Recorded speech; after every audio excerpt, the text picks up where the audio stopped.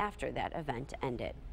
Buffalo police are continuing to investigate a shooting this morning. Police say a 25-year-old man from Cheektowaga was shot multiple times in Buffalo early yesterday morning. Police are not sure where he was attacked, but authorities say he managed to walk over to Warwick Avenue after he was shot, and he was taken to ECMC, where he's now in fair condition.